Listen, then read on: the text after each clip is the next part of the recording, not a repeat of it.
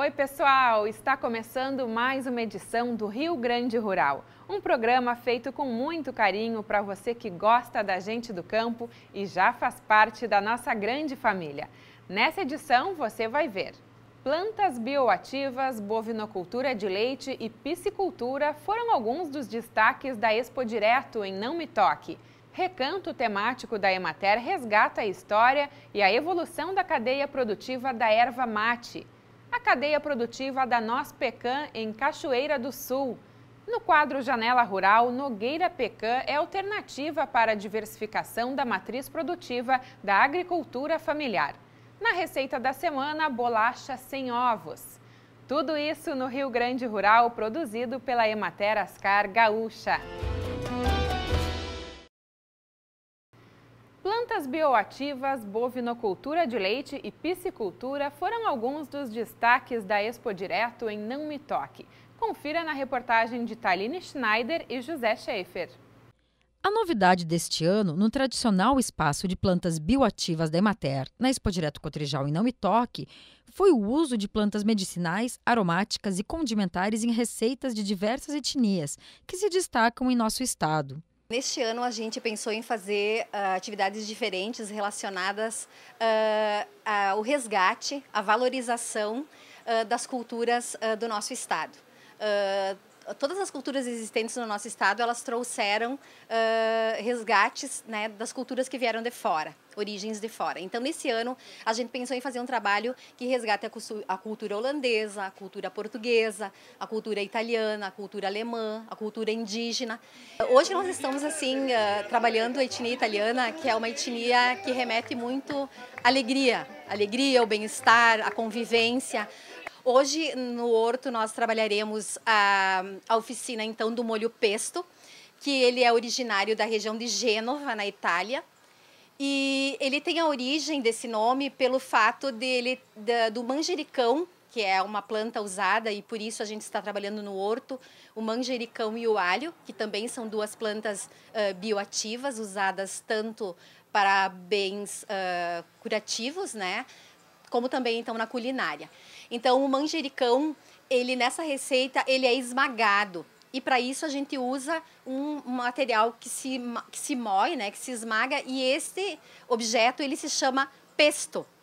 Então, por isto, do molho pesto. Então, ah, a ordem a gente então descasca o alho, coloca ele no esmagador, no espremedor.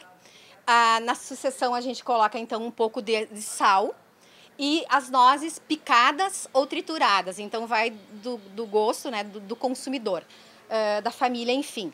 Uh, na sequência, nós vamos ter esses três, esses três ingredientes misturados. Nós vamos, então, pegar o manjericão e vamos, então, tirar ele, lavar direitinho, tirar ele as folhas Uh, e vamos então socar, pegar uma tigela e socar ele, né, para que ele fique uh, a, a, maciar, né, esmagar, para que ele largue o gosto e as propriedades que existem no manjericão, que são muito saborosas, inclusive, né, para acrescentar nesse molho.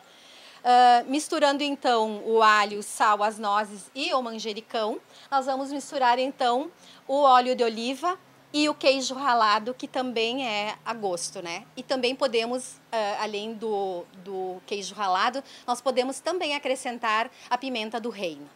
Tem que sempre buscar uma, uma temática diferente, né? E nós sabemos o quanto o uso das plantas é, bioativas é popular, né? Tanto a Organização Mundial de Saúde já diz que mais de 80% da população mundial usa plantas medicinais, né? Então, nós queremos, quisemos fazer um resgate é, das principais etnias que nós temos aqui na região para poder trazer um pouquinho né, as curiosidades de cada etnia e as plantas que mais se destacam no uso. Então nós temos é, várias formas de uso, desde xarope, desde na alimentação, desde é, uma bebida né, que, que tem o fim, é, o fim de, de, de ser digestiva. Né? Então é uma, um resgate buscando valorizar esse saber que é passado de geração para geração e também é, identificar as plantas mais utilizadas na região de acordo com a etnia. Além dessa novidade, foi recordado toda a história e funcionalidade do horto durante a feira, bem como sua utilização no resto do ano. Ele nasceu de uma forma bem singela, né? somente com alguns vasos de plantas medicinais, mas é, a representatividade das plantas medicinais sempre esteve presente. Com o tempo foi tendo essa reorganização de toda a estrutura da feira, né? e nós temos hoje esse espaço aqui é, que ele tem 25 por 50 metros e uma diversidade de, de, mais de 150 tipos diferentes de plantas bioativas, né, que a gente chama das plantas medicinais, condimentares, aromáticas. E também nós temos alguns exemplares de tóxicas. Ele é muito utilizado, esse espaço, durante todo o ano. Nós temos três cursos de plantas eh, medicinais e introdução à homeopatia. E nós temos visitação de grupos também, então com agendamento, porque é um espaço que não, não fica assim aberto todo o tempo ao público. Então, com agendamento, com a equipe municipal aqui de Nome Toque ou com o centro de treinamento aqui, eh, nós organizamos e as pessoas eh, organizamos visitas orientadas ou visitas guiadas, que é as pessoas vêm, passam um dia, passam meio dia aqui e a gente vai trocando informações, identificando plantas plantas, tirando dúvidas, enfim, crescendo, aprendendo bastante sobre o assunto, tanto é, da parte das pessoas que vêm para participar, quanto do que nós podemos contribuir com as pessoas também. Durante a Expo Direto Cotrijal e Não Me Toque, no espaço da Emater sobre bovinocultura de leite, foi apresentado ao público visitante o funcionamento da máquina de produzir leite.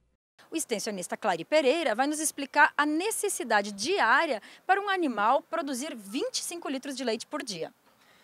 Bom, a nossa máquina de produção de leite aqui na Expo Direto é constituída por uma vaca de 500 quilos, ao qual nós queremos mostrar que para a produção de 25 litros de leite diariamente, a gente tem que disponibilizar para esse animal 30 quilos de pastagem, pastagem de boa qualidade, precisa se colocar à disposição 100 gramas de sal mineral, 3 quilos de ração, com a 22% de proteína nessa ração, e como uma fonte de energia para essa vaca, 17 quilos de silagem diariamente. Essa constituição dessa dieta vai nos garantir aquela quantidade de 25 litros de leite diariamente. Não podemos esquecer que um animal consome muita água e para garantir essa produção também precisamos disponibilizar 105 litros de água para o consumo do animal. Mais 25 litros para limpeza, nós precisamos na propriedade ter diariamente para cada vaca 130 litros de água. Além da máquina de produção de leite, nós estamos remetendo os produtores para a produção de volumoso na propriedade. E aqui no nosso espaço nós temos duas pastagens perenes de verão. Estamos trabalhando com a Gigs, que é um tipo de Tifton. Estamos trabalhando com a 85, que é um, outro uh, melhoramento de Tifton também. Para que os produtores conheçam esse material, a gente está explicando qual é o potencial deles na produção de leite e qual a futura assim, possibilidade disso numa propriedade responder e nos garantir uma determinada quantidade de leite. Também temos aqui no nosso espaço uma máquina que foi desenvolvida e é por um pessoal que presta serviço de implantação de Tifton, que é uma das dificuldades que os produtores nos colocam no campo para fazer o plantio desse material. Então hoje tem empresas que prestam esse serviço, produzem mudas, ou seja, facilitou é, essa implantação desse material que é um material perene. Também temos aqui no nosso espaço os alimentos conservados. Então nós temos produção Aqui os produtores podem perceber a silagem pré-secada, a silagem de grão úmido e também o processo de fenação. Então esse conjunto de informações servem para que a gente possa disponibilizar para os produtores esse conhecimento para que lá na propriedade eles tenham aquela produção das vacas conforme, logicamente, a genética dos animais disponíveis em cada propriedade. E para finalizar, no nosso espaço da Emater, nós estamos realizando eh, oficinas eh, de aplicação de medicamentos. A ideia é que quem passe no nosso espaço possa ah, sentir a textura, digamos assim, da pele do animal no momento de fazer a aplicação. Ele vai ter essa, qual é a intensidade que eu preciso usar numa agulha, por exemplo, para passar o couro do animal e aplicar esse produto no, no local adequado e recomendado tecnicamente. Socializar as informações sobre o manejo dos açudes e da criação dos peixes e seus diversos tipos de cortes e preparos de pratos foram destaque no espaço da piscicultura de Mater, na Expo Direto Cotrijal em Não Me Toque.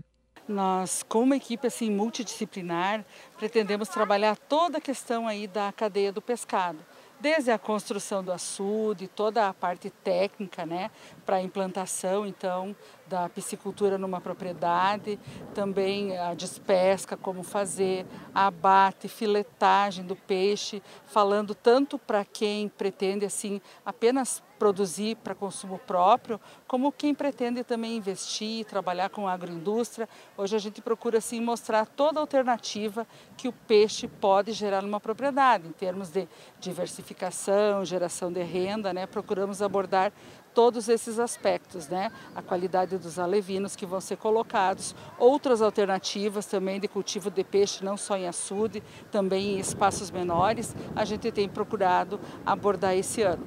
Outro aspecto interessante que a gente tem colocado aqui é tudo que tu pode usar como alimento para os peixes. A gente tem uma amostra, então, de diversos produtos que tu produz da tua própria propriedade e que tu pode usar também como alimentação para incrementar a produção de peixes. A gente já há alguns anos vem então a cada feira procurando apresentar opções alternativas de preparo do peixe de maneira saudável, evitando preparar só aquele peixe frito, que é o tradicional e que todo mundo faz. Apresentar então outras opções. A gente tem o defumador aqui no espaço, então apresenta essa alternativa do peixe defumado, a gente assa peixe, grelha ele. Esse ano nós estamos trabalhando também com bolinhos de peixe que podem ser tanto assados quanto fritos, com o mesmo intuito, tanto geração de renda, como também qualificação da alimentação da família que é produtora desse peixe.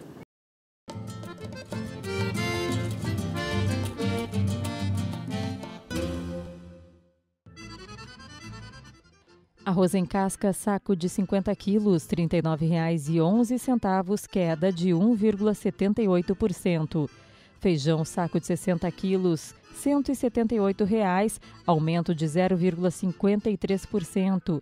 Milho saco de 60 quilos, R$ 32,25, queda de 0,92%.